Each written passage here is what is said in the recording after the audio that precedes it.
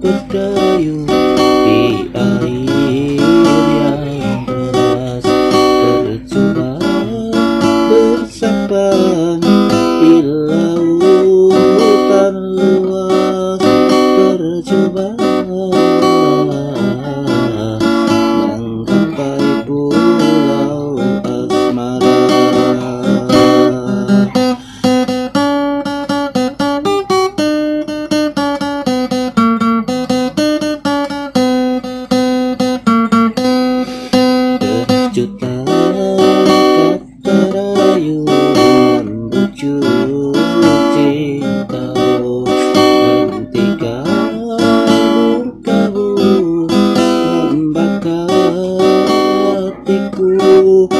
Hentikan